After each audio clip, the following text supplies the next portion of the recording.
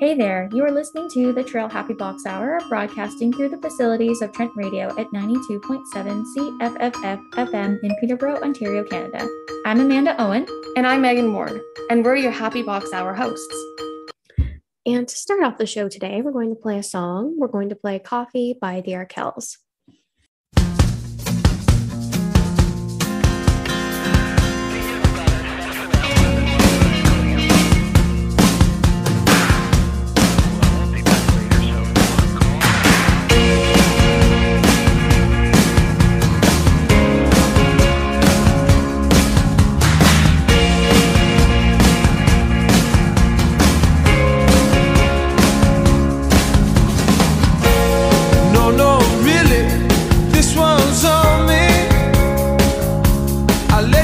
the next time.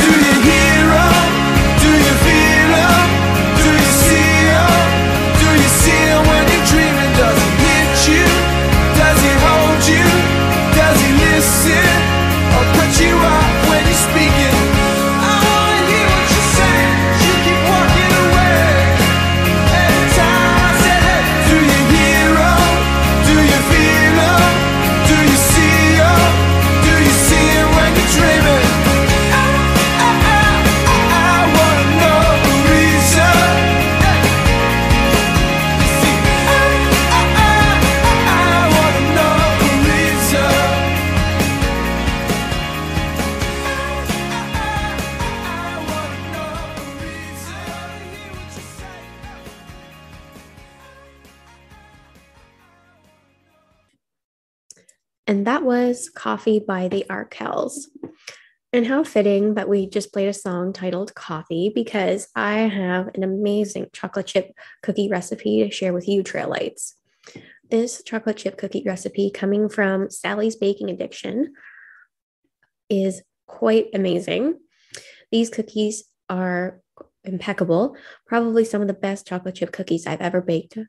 And these take a total time of one hour and 30 minutes, which will be the best one hour and 30 minutes you will ever spend on baking because these cookies are going to blow you away and knock your socks off.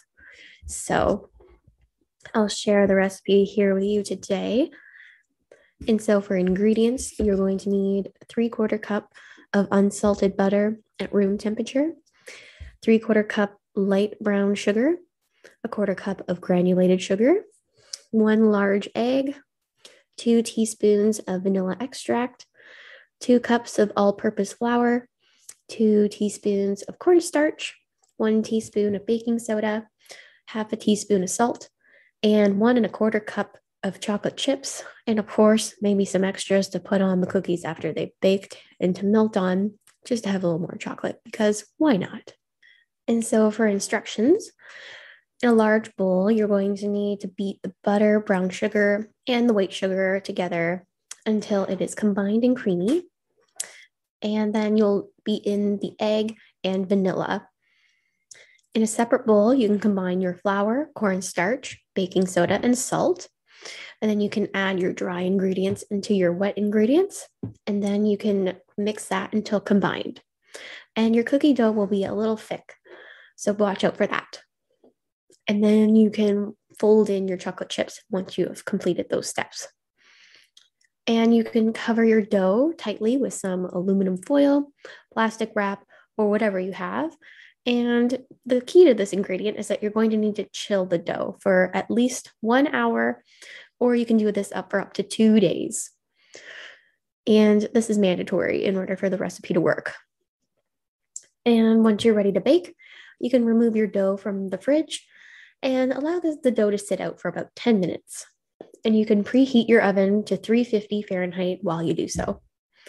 And you can line a few baking sheets with parchment paper or baking mats or whatever you have. And once the dough is chilled, you'll notice that it's slightly crumbly, but it will come together once it sort of comes back to room temperature and once you start working with it with your hands. And you can roll the dough into balls, about uh, a tablespoon and a half of dough each, and roll, roll those into balls with your hands. And place them on the baking sheets, and you can bake these cookies for 11 to 12 minutes or until the edges are golden brown. And since these cookies are going to be really, really soft, once you remove them from the oven, you're going to want to cool them on a cooling rack for about five minutes. And once the cookies are completely cooled off, you can cover them and store them for about up to one week. This recipe yields two dozen cookies, or if you prefer to have larger cookies, maybe fewer than that. And I hope you enjoy. This is supposed to be the best soft chocolate chip cookies from Sally's Baking Addiction. So I hope you enjoy Traillites. And on to other news. An important message from the university is that there are going to be flu shot clinics happening on campus. And these are free uh, appointments that you can book. And there is a way to do so on your MyTrent portal. You'll notice a notification about this come up on your MyTrent portal to help me and you avoid the flu. And the upcoming clinics are on November 10th and 17th. Be sure to book your appointment in advance and to get your flu shot. And to end off this segment today, we're going to play a song. We're going to play Owls by I the Mountain.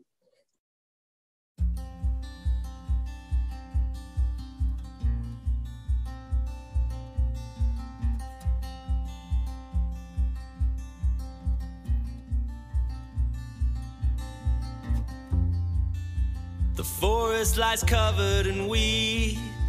Well, I've got friends in the highest of places, my love. They'll take all they can, but me, I've got friends in the highest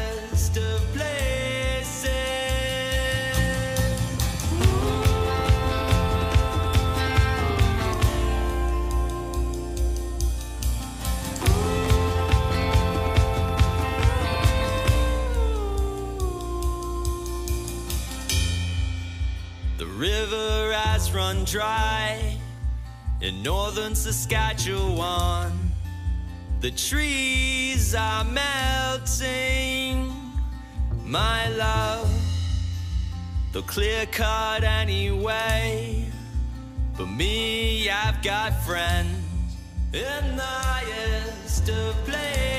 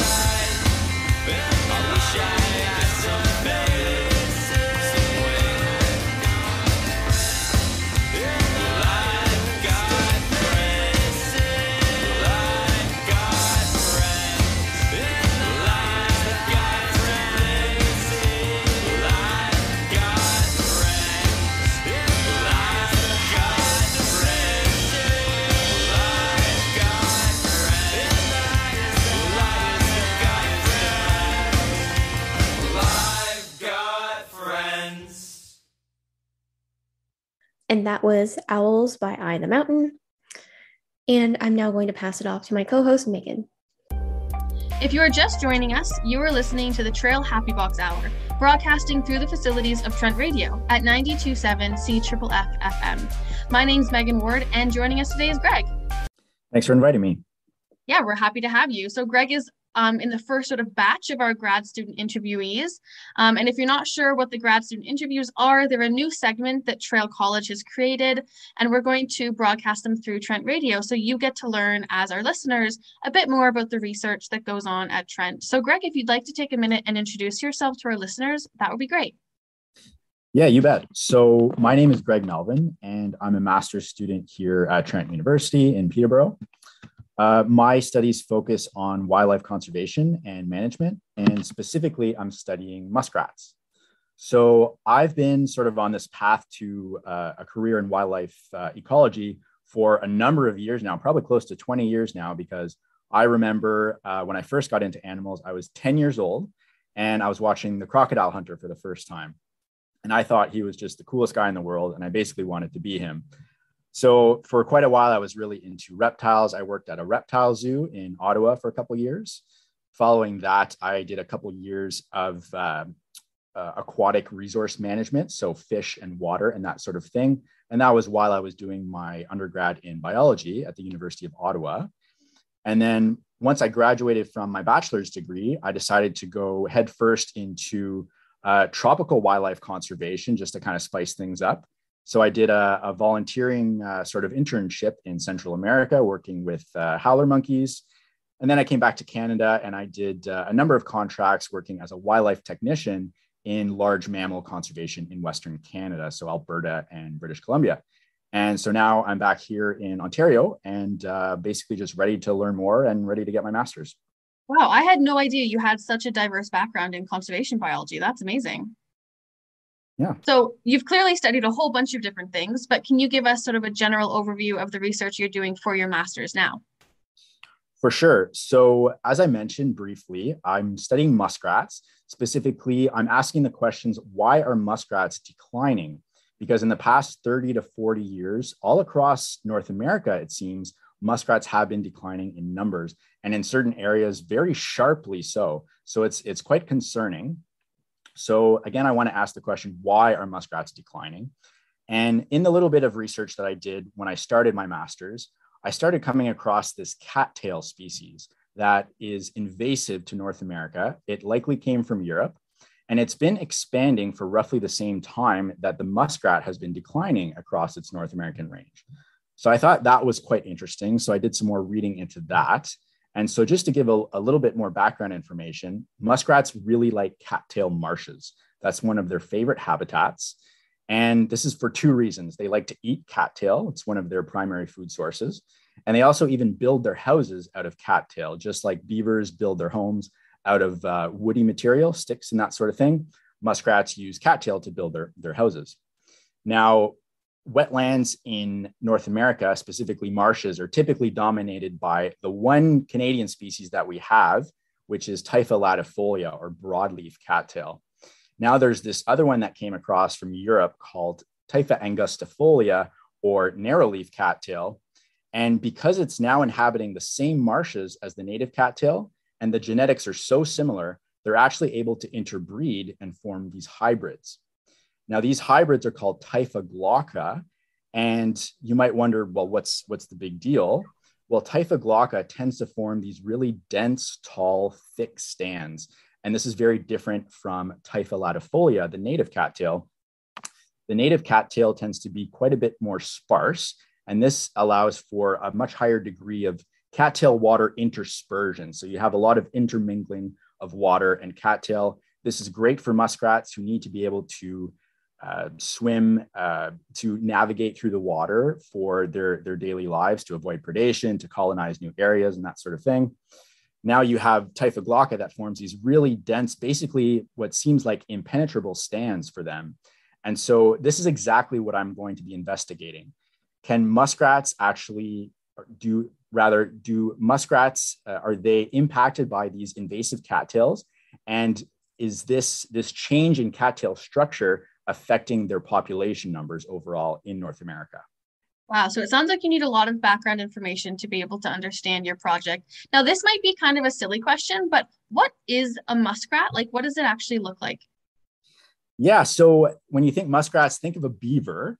Now, they look a lot like beavers and they're very similar in their nature in that beavers and muskrats are considered semi aquatic mammals.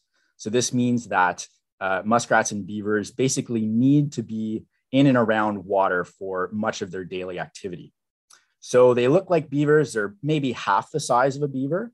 And rather than having that big fanned out tail, they have a much smaller tail, more like a rat tail, although they are actually very much suited to the water because they have a tail that's considered uh, laterally compressed and it actually looks kind of like a fin and it works that way as well. So they're actually very good swimmers. They have webbed feet as well.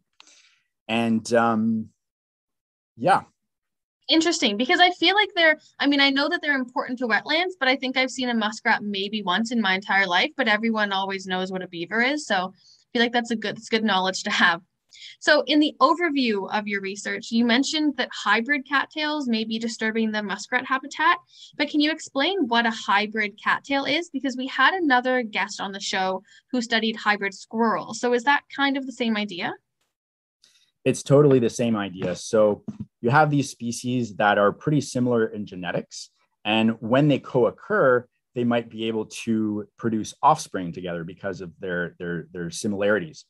Now, oftentimes, if, if the animals or the plants are not quite so related, they might be able to form hybrids, but those hybrids are typically non viable. So, this means that those hybrids won't grow to maturity or they won't be able to produce offspring of their own. And so, exactly like you were mentioning for flying squirrels, flying squirrels, we have the northern and the southern flying squirrels. when when uh, they breed together, they can produce hybrids, and they can be uh, viable hybrids as well. Typically, they're they're separated by their geography or their habitat type. But now with climate change, you have the two squirrels inhabiting the same areas, and so you're getting these hybrid squirrels. Right. Okay. So it is sort of the same idea. That that's really good to know. And so we have these cattails and they're dominating these wetlands in Ontario. My first thought is to just chop them all down. So maybe that's not a viable option. Could you maybe expand on that a little bit more? Sure. So yeah, so that that is one option, and that's something that that people can do on sort of a local scale. But to do that across North America, of course, it would take a, a very big effort. Um, there's lots of other ways that people have tried to eliminate these invasive uh, hybrid cattails or the, the invasive species themselves, um, burning down stands, like you mentioned, cutting them, um, drowning them out or drying them out, depending on how you manage the water levels. So there's various ways to control these cattails, but these measures should also be coupled with actually planting native species, so planting native seeds, um, this will help tremendously in uh, boosting populations of native vegetation. Right. Okay. And I assume that native vegetation is also used by the native like animals that live there. So the muskrats would benefit from having some cattail, but also something else. So muskrats, are they the only species that are impacted by the cattails? Um, and I guess sort of generally, why did you pick to study them when you were looking at cattail distribution? Yeah, so there are certainly many other species that are impacted by invasive species in general, but certainly specifically these uh, these cattails that are moving in. So when you have these these invasive species come in to an environment where they've never been before, oftentimes because they they might not have any predators yet for that specific plant or animal, they tend to explode in numbers because there's nothing really impeding their growth. So when you have these, these cattails expanding in these wetlands, they kind of outcompete other species. And now you have basically this monoculture, just this, this one species of, of uh, cattail taking over not only the other cattails, but also the other vegetation in the marsh. So you just have this one species of cattail taking over. This uh, can greatly reduce the, the diversity of habitat.